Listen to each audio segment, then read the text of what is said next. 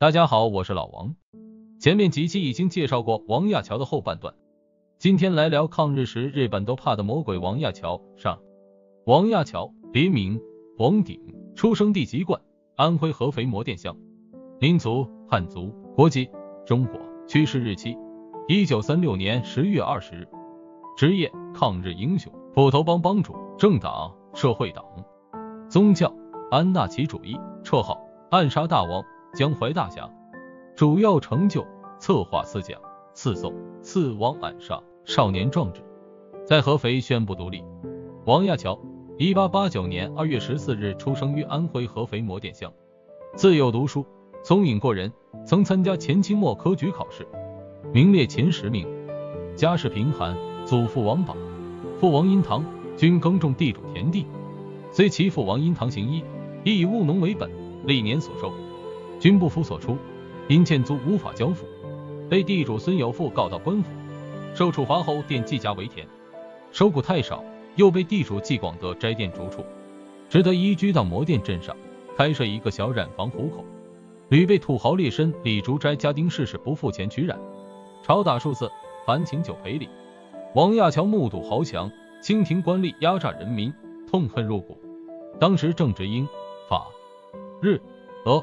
德列强汹汹入侵，瓜分中国，目睹清廷内外无能，民族濒临灭亡。美与合肥、朝鲜、寿县青年志士谈论国家兴亡，匹夫有责，慷慨悲歌。王亚樵秉性倔强，嫉恶如仇，见义勇为，不屈不挠。邻里有人多赞亚樵有股烈士风，后与友人组织正气学社，探讨文天祥生平事迹，结识吴阳谷、百列武等。简单来说，目睹人民被各种势力欺压，有大侠的节气，自己力量虽小，但结合大家的力量可以走很远，走很广。孙中山先生倡导革命，于一九一一年辛亥推翻了清王朝，是年王亚樵二十二岁，与乡人李元甫、王传柱、李小一等回向中山先生革命主张，与百列武接洽，由王亚樵、李元甫、王传柱担任合肥革命军政府司令。在合肥，李文忠公祠组织军政府，宣布独立，撤销清廷一切官吏。事有凑巧，事实亦有孙品参由同盟会上海总部领到委任来飞，与巡防营季光恩、团练使员窦书，亦在合肥大书院成立军政府，宣布独立，自任司令。两派人枪实力，均不相上下。王亚樵等主张开李府仓房，封李府典当，以作军饷及赈济平民。孙品参等主张暂维持旧有土豪劣绅和士大夫阶级，因而两派意见不合，时相举语。后孙品参将李元甫、王传柱、李小一等枪杀。王亚樵因下乡集合队伍未遭难，因而亡命南京，被军阀通缉。王亚樵因在南京见到江抗虎组织中国社会党，颇服志愿，即加入社会党，受命负责安徽支部。全于一九一二年秋回到安徽。与全椒人刘大奎、朝鲜人丁鹤龄、怀宁人蒋飞武、合肥人唐佑文、朱寿梅、洪耀斗、许其庸、芜湖人杨柳堤等先后在合肥、全椒、朝鲜、安庆、芜湖各地成立县支部，安徽总支部设在合肥错镇夏家祠堂。因王亚樵一向长于演讲，富有组织能力，所以各县加入者颇众。他的生活很朴素，常穿一套破西装。拿一根自由棍，口留小胡，奔走不遗余力，卧稻草，吃餐饭，是他常事，处事接物非常诚恳，因此社会党在安徽极为发达。北洋军阀皖都尼四冲称社会党为乱党，下令通缉。丁鹤龄遇害，王亚樵于一九一三年秋率领一班同志出往上海。到上海后，王亚樵白天做苦工，夜晚宿马路盖报纸，贫困不移其志。继续寻求革命，结识在国内倡导安纳奇主义、无政府主义的北大教授景美九，钻研克鲁泡特金的无政府主义学说，参加无政府主义研究小组，研究怎样打倒社会上一切强权。后来，王亚樵在反动政府统治时代致力于暗杀大军阀、大官僚，实施受了无政府主义影响的关系，轰炸北京政府。一九一九年，北洋军阀段祺瑞左右北京军政大权。反对以孙中山为代表的民主力量。王亚樵见到段祺瑞违反民意，义愤填膺，以国民党员身份上书孙中山先生，建议轰炸北京政府，杀死段祺瑞，实行除出民贼，以救为王，非组织暗杀团体不可。当被孙中山先生批驳曰：“解决革命，应以武装力量彻底推翻其组织，不在于杀死一个人。”后中山先生由上海回到广东，重组军政府。王亚樵亦随中山先生到广东，攻其驱策。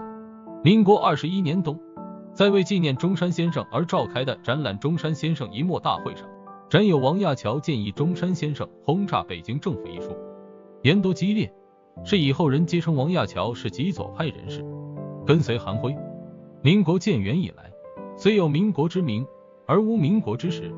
国中土地军阀割据，李纯霸占江苏，无恶不作。同盟会员韩辉有见及此，号召一般有志之士共同反对李纯，实现中山先生三民主义。是时，中山先生去日本，王亚樵到上海，对韩辉主张甚为钦佩，因而与徐州人胡豹一追随韩辉到苏北、洪湖一带组织军事实力。不料李纯探得韩王已离沪，遂于上海新申两报发布通缉令，说王亚樵、韩辉离沪。图谋不轨，严斥各地军警缉拿，结果韩辉被李纯捉拿，写南京殉难。王则暂息隐于其故乡合肥磨电机。以后，王亚樵到上海创设傅岩国小，即是纪念韩辉革命精神不死。其傅岩二字是韩辉生前别号。同张文生下台。一九二零年九月，军阀张文生暂守安徽督军，贪污腐化，不顾万人疾苦，在安徽各地便设离京关卡。剥削人民，以供挥霍。王亚樵于一九二一年到安庆，见到张文生如此不法，即与许其庸、何哲仁、周无为、郑清世、蒋非我、刘景吾、韩培林等在安庆宣布，为促进中山先生民权革命，组织安徽民权协进会，号召市民、工人、学生一致参加反对军阀张文生专政，并主张安徽军政分治，不得有五人监掌政治。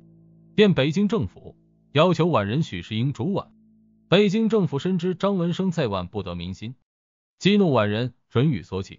于一九二一年九月特命许世英为安徽省长。王亚樵得讯后，即邀请安庆各界人士前往码头欢迎许。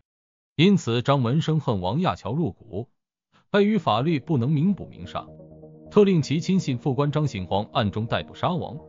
而张与王有旧，曾得过王之恩惠。不忍下此毒手，遂走告王，速离安庆，以免杀头之祸。